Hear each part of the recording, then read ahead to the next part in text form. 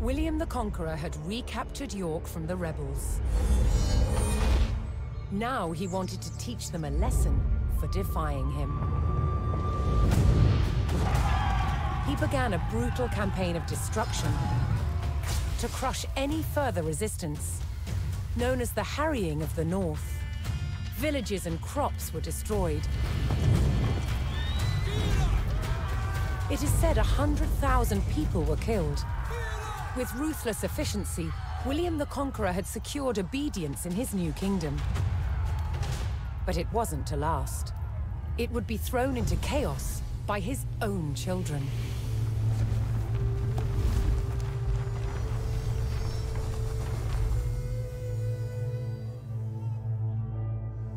When William the Conqueror died in 1087, his favorite son succeeded him. King William II, known as William Rufus. But 13 years into his reign, disaster struck. While out hunting, he was killed.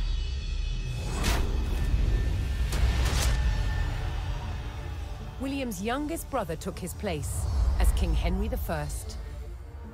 But there was a problem. At the time, Henry's elder brother, Robert, Duke of Normandy, had been on crusade. When he returned, he was furious that Henry had grabbed the throne. From Normandy, Robert attempted to invade England to claim the crown from his brother. But he failed and returned home. In retaliation, Henry struck back. In a reversal of 1066, he crossed the Channel and invaded Normandy, intent on undermining his brother Robert's rule. His first target was Bayeux. This rich and splendid city was one of the jewels of Normandy. Henry was to begin his campaign by unleashing his forces on the city. Bayeux was about to feel the wrath of the English army.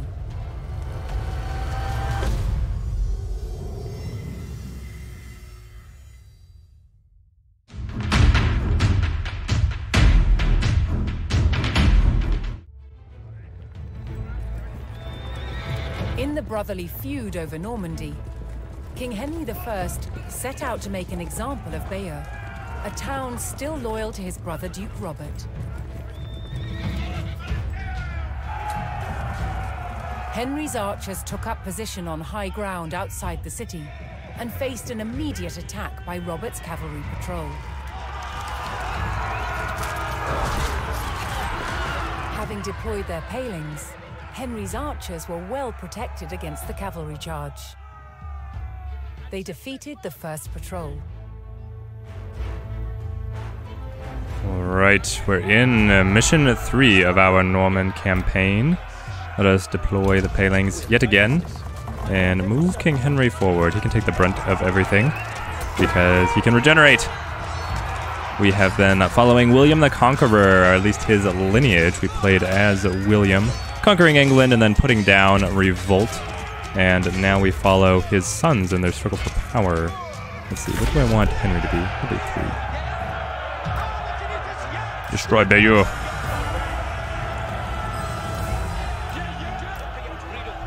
As Henry set his sights on burning Reinforcements to Bayeux, organize. more reinforcements arrived to join his army. Go. So many scouts. What am I going to do with all these scouts? Okay, a lot of cavalry here. I'm to try and lure them in with the archers. Catch them on the edge of their patrol.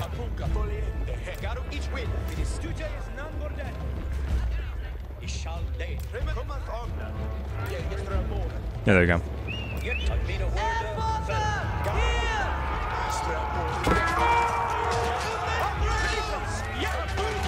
Uh, yeah, please get the ones that are fighting the archers first. Oh, there's even more cavalry patrols out there. Okay, but this is a huge body of archers. I have 70 archers under my command. The English longbowmen, pride of the army.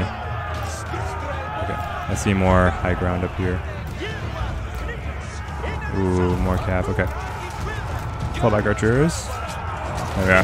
Get in there. Boost the armor of these spearmen. Try and keep them around as long as we can. Uh, yeah, I don't. Archers, please don't don't waste your arrows against the houses. We uh, we have enemy cavalry attacking us. So much enemy. There's an even there's another patrol out there. Hopefully we don't have to aggro that one immediately. The Looks like they're staying far enough away. And saw that its towering stone walls would not be breached by manpower alone. Henry would need siege equipment and a yeah, defensible location. siege equipment is king here. Oh my gosh, how do they have even more cav? And we aggroed both of them together. Brilliant. Oh, good. Those guys are pulling back. Yeah. So I think that little cutscene triggered when we gained sightline of the walls. Right now, our goal is to capture the forest village, be able to set up our little base, home base. 70 archers, while formidable, is actually not going to be able to breach these walls. All right, fall back, guys. Come on. Up against the tower. Just leave those cavalry alone.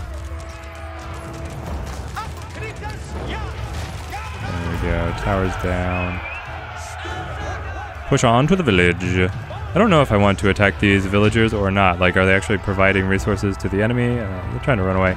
Sometimes when you march in, they just convert to your side when you capture the village. So, I don't want to wantonly destroy what might one day be mine. Hmm, they have a bridge patrol. Let's see if we can sack the tower while the patrol is on the far side of the bridge. And then when they come across, we'll fight them.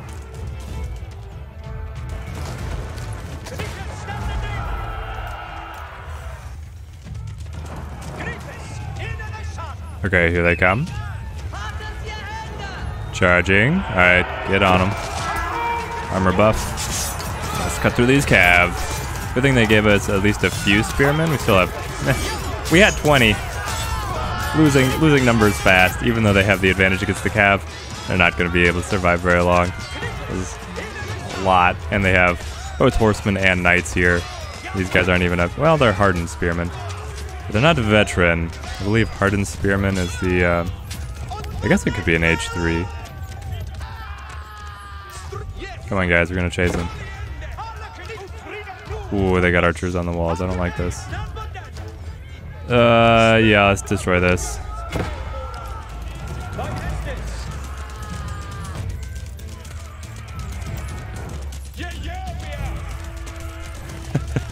We'll bring it down with the sheer weight of our arrows. That's hilarious. Each archer has like a, a minuscule siege attack. There we go, lit it on fire, and it's down. No fallback. I'll go in, guys. We'll thin their, thin- the ranks on the walls here with the longbowmen. Doing pretty well, though they do get a bonus for being up on the walls. They they hit harder and they take less damage. Alright, let's not waste too much time here. Push on to the forest village. We want to be able to capture that. Set up our base. Begin the mission for real. See if we can. I believe this is mission is taking revenge on our brother for attacking us after we usurped his throne. So family squabbles of the Middle Ages.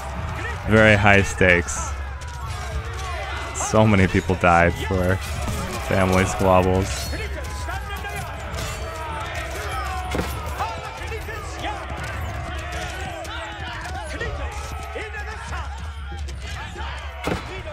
Alright, one more. Oh, two. Here we go. Pick up the archers. Here we go. We have the forest village. Time to set up home base. There's all the villagers. Beautiful. Okay.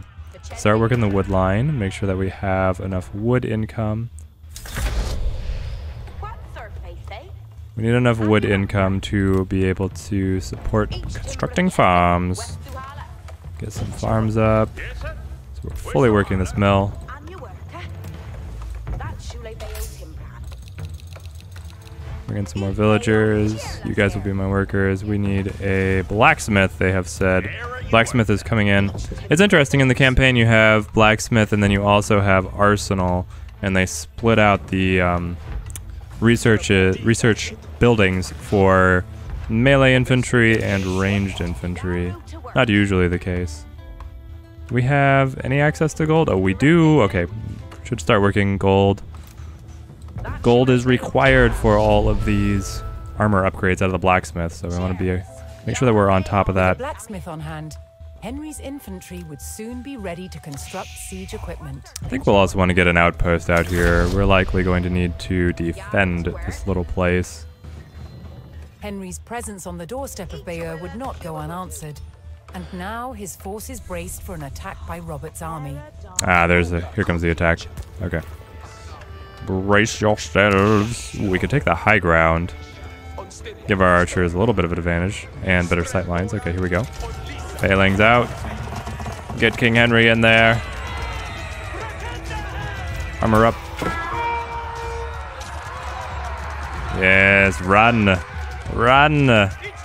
Oh, you cannot outrun my arrows. Henry repelled the attack. But he knew that so long as Bayeux still stood, the city would not give up the fight.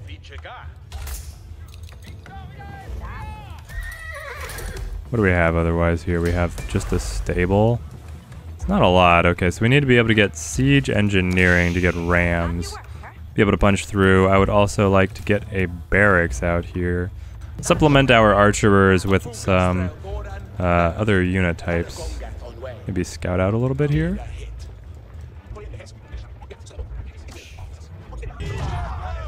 Some enemy villagers here working their wood line. We'll thin those down. We don't want to push out too far away from the base though, in case we do get hit. Uh, snuck up on me, no. Got into the archers, palings, palings, but it's too late. Yeah, we definitely need some of these spearmen. Be able to supplement our numbers. We'll get a few of these guys out. infantry could now construct battering rams. Ah, there we go, that's our upgrade. Designed to break open fortress walls. Alright, be able to construct rams.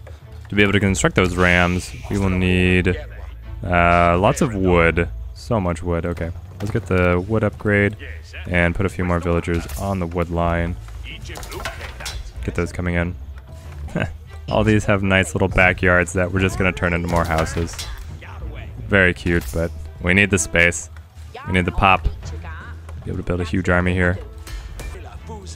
To start to work on some of these rams. We can get two here. Uh, they want us to be able to build three. We might go even over that and get four. We've got pretty powerful economy building here behind our forces. Be able to even out some of these farms, and then we should be all in on wood for the final push for the rams.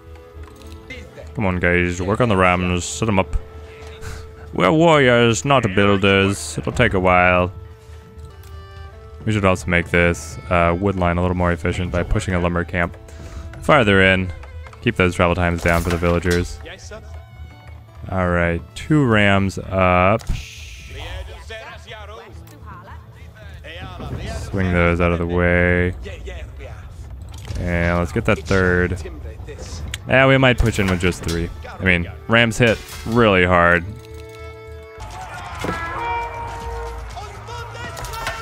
Okay, after this raid, we're gonna push in for the counterattack. We are prepared, our rams are ready to take the enemies to Ram Ranch.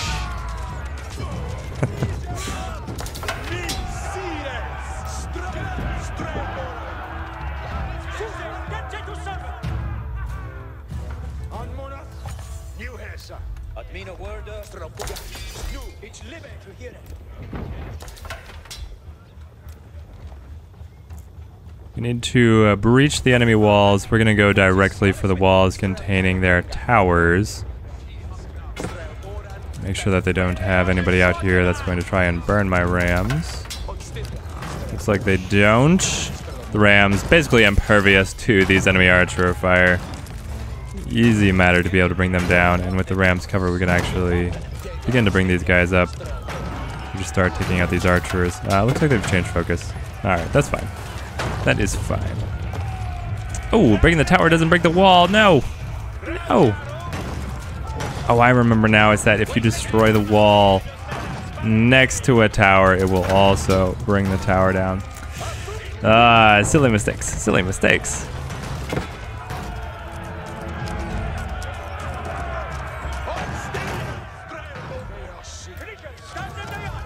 Few reinforcements who are training here. We're still working on being able to get a, uh, there we go. Set this up, give them also command numbers, start training more longbowmen. We're gonna definitely be losing archers here. Alright, they're coming out. The sortie is here, trying to destroy my rams. Then out the defenders. We've breached the walls. Here we go, now we're in. Let's start knocking down everything inside. But Henry would show no mercy in cutting Hmm, do we want to put in a larger breach? Maybe we do. Larger breach in the walls. Alright, keep the rams safe. It is a top priority. They were very expensive. I don't want to have to rebuild any. Here we go. Let's get these guys out here. Add these guys to the archers' ranks. The archers are just in a basically unstoppable mass right now. Uh, where's Henry then? Henry? King? My lord? Oh, you're injured. Oh, you died right here in front of the walls. Okay. We'll... We'll come get you eventually.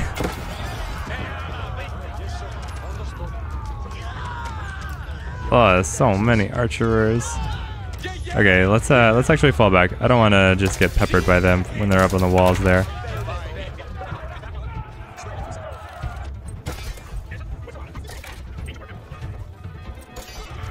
But I'll fight them on even footing out here in the field, that is for sure.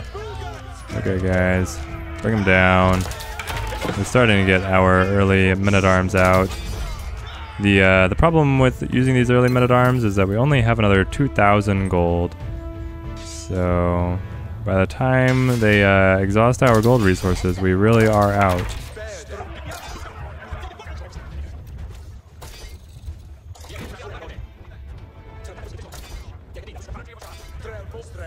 The raid of Bayeux continues. Bring in the Rams as well. We're going to eventually try and get in and save our leader.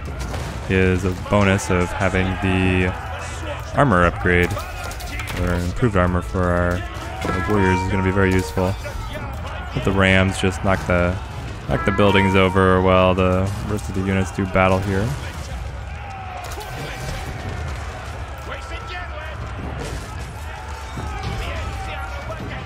Hmm, do we want to push the Rams all the way up? Maybe we do. We'll go into the wall here. Pretty confident about being able to take out these defenders. If we destroy these walls, we'll be able to bring the gatehouse down and be able to destroy the tower as well. Now we'll open up the space to be able to rescue the leader. Save King Henry from where he has fallen. At the foot of the enemy walls. Ooh, here come even more. Alright, do we have reinforcements ready? We kind of do. Bring these guys in. Ooh, they're falling back. Okay, come on, guys. Follow up, follow up.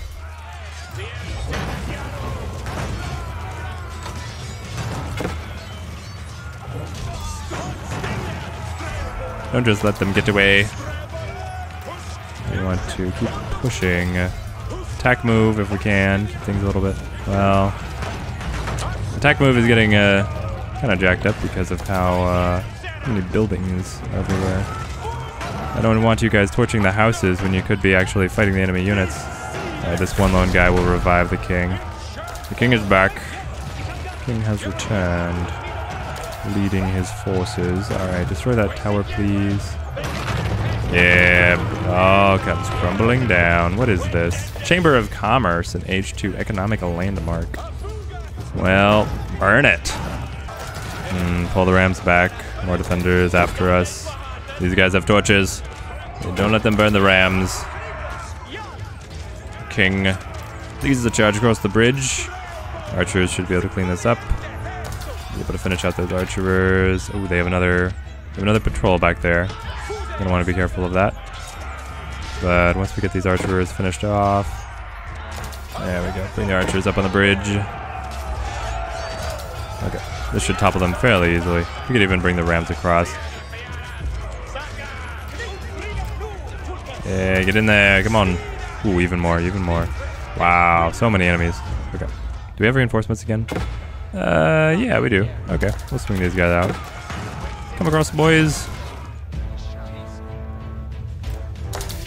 Making sure that we are keeping up with rate of replenishment for our troops.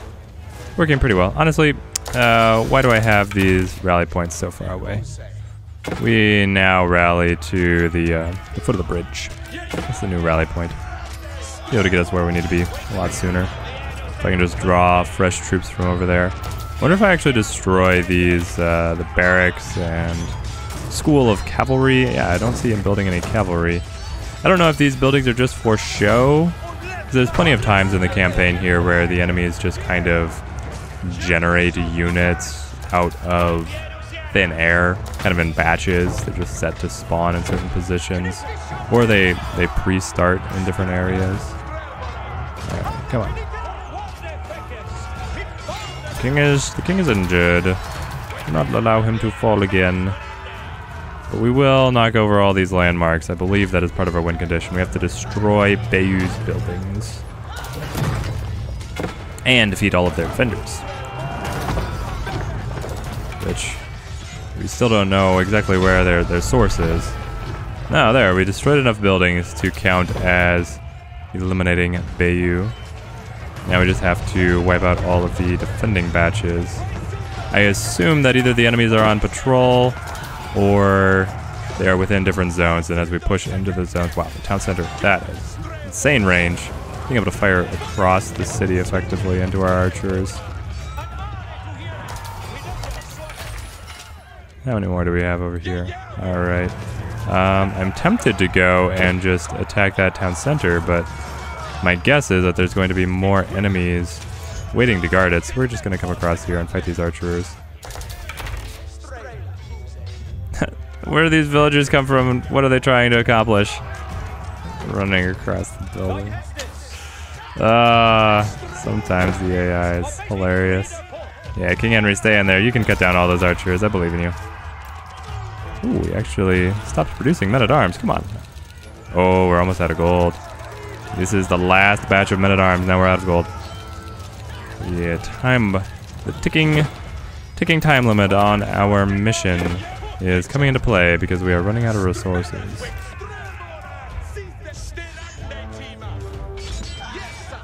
So where are their final defenders? Or is this actually the last one? There it is! We have defeated them!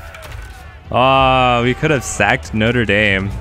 We could have burned Notre Dame if we had progressed the city in that direction. Feels like a little bit of a missed opportunity. People fled in terror. King Henry basked in the victory over his brother Duke Robert. But Henry would not stop until all of Normandy was back under the English crown.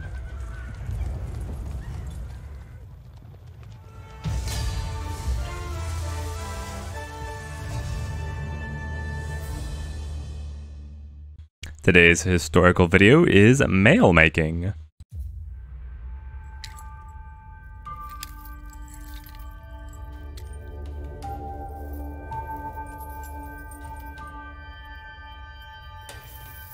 By 1100, the medieval knight was dressed from head to toe in mail. Mail is really like a metal fabric. It moves and behaves like a cloth, but is actually made of hundreds and thousands of interlocking iron rings. It could turn and deflect a sword blade. As an armor, mail didn't work all by itself. It needed the addition of a padded coat. The coat absorbed the shock of the blow, whilst the mail turned away the cut. Together, they formed an incredibly effective protection.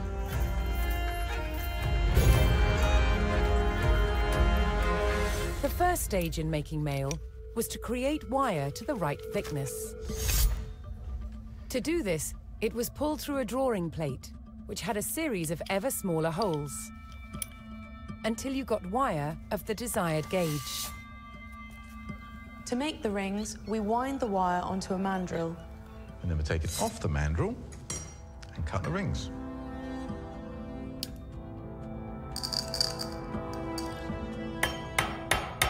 So I've flattened the overlapping ends of the ring and I've pierced a hole through it. And now Nick has to put a rivet in it. The basic construction of mail would be a ratio of four to one. So each ring goes through four of its fellows. Here you can see I've made a set of five, which will then be joined to other sets of five to create a sheet of mail. Mail had to be tailored to a perfect fit. It had to be shaped for feet and legs, arms and hands, and of course the head. A skilled mail maker could make very precise shapes. Of course, for more complicated parts of the body, like elbows, we can actually tailor it in two different directions at the same time. Yeah. So if we fold this in half, we have an elbow. One of the main benefits of tailoring in mail was that it meant a knight didn't have to carry a single ring of extra weight that he didn't need to. The mail to cover a knight from head to toe required about 200,000 rings. High status knights would have had their mail edged with gold, but most importantly, it had to be functional. Clad in mail with his shield and helmet, the knight was well equipped to face the weapons of the day.